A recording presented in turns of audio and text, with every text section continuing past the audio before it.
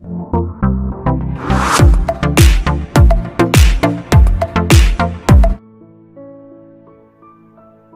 نشرت الأميرة ريما بن طلال فجر اليوم مقطع فيديو جديد للأمير الوليد بن خالد بن طلال المعروف باسم الأمير النائم الذي دخل في غيبوبة منذ أكثر من 15 عاما نتيجة حادث سير في 2005 خلال دراسته في لندن. وقالت الأميرة ريما بن طلال حبيبي الله يحفظك ويشفيك ويعافيك. حيث يظهر الأمير النائم تحت غطاء باللون الأخضر كتب عليه الوطن في قلوبنا.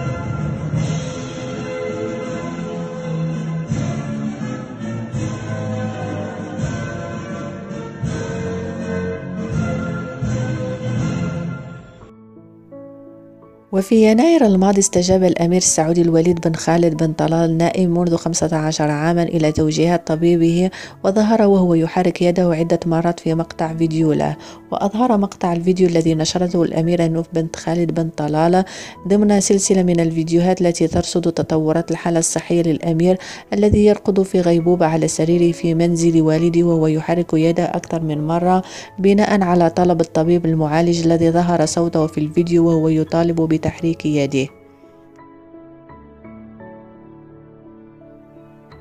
وليست هذه المرة الأولى التي يستجيب فيها الأمير الوليد ويحرك أعضاء من جسمه خلال فترة مرضه ويذكر أن الأمير النائم قد تعرض لحادث سير وقع عام 2005 خلال دراسته بالكلية العسكرية ودخل في غيبوبة منذ ذلك الحين وتختلف التشخيصات الطبية لحالة الأمير النائم وتمت دعوة وفد طب مكون من ثلاثة أطباء أمريكيين وآخر إسباني في محاولة لإيقاف النزيف من رأسه لكنه بقي في غيبوبة ويصر الأمير خالد بن طلال على إبقاء نجلي تحت الأجهزة الأجهزة والمتابعة أملا في أن يشفى وعلق على هذا الأمر. قائلا سأل سألني شخص ما لماذا لا تسحب الأجهزة عن ابنك؟ فأجبته إذا كانت مشيئة الله أن يتوفاه في الحادث لكان ابني في قبره لا يحتاج لمساعدتي الآن بشفائه أو ببقائه على حالي أو بوفاته وأنا صابر وراض ومطمئن بما قدره الله ومتوكل عليه. جلت جلت قدرته فمن حفظه